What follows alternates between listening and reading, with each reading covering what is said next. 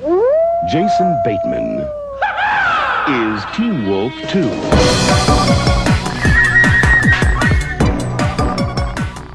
What's up, guys? Aleks Ignjatovic here with another episode of SLC Nerds 31 Screams. Today, we're going to talk about a movie from 1987 starring Little House on the Prairie star Jason Bateman. It's called Teen Wolf Too, as in Teen Wolf Also, like T O O, because he's also a werewolf.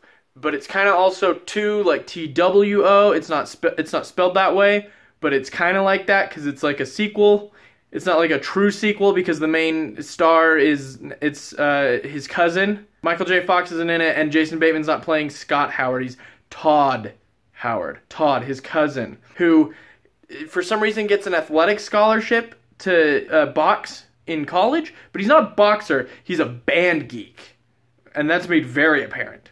Yeah, but what about that sports scholarship they gave you? I mean, the closest you ever came to an athletic field was playing clarinet in the marching band. Uh, but he does his best. He wolfs out, and uh, wouldn't you know, it, he's pretty good at boxing when he's a monster. Uh, the movie's, you know, I mean, it.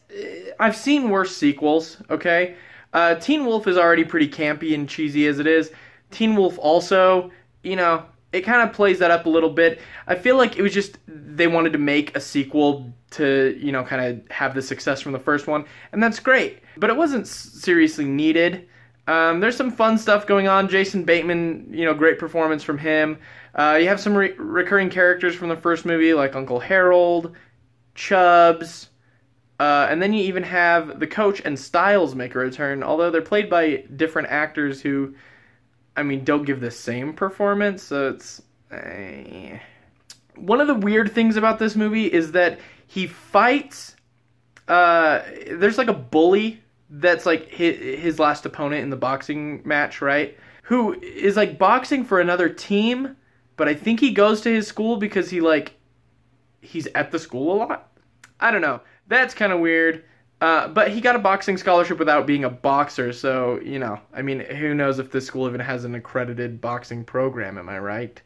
But uh, definitely check out Teen Wolf Too. If you like the first one, you'll probably like the second one. It's decent. It has a really weird musical number where Jason Bateman is doing karaoke, and then later his voice is just still singing the whole song, and he's no longer singing. He's just dancing with the crowd, and they all have this big choreographed dance. You've seen dance scenes. I give this movie, I don't know, like, let's say 3 out of 5 is okay. It's pretty good. Uh, once again, I'm Aleks Ignjatovic. Thank you for watching. If you want to catch up on what I'm up to, follow me on YouTube at AleksSuks TV. Watch the old videos, get caught up, get psyched. I'm going to make new stuff.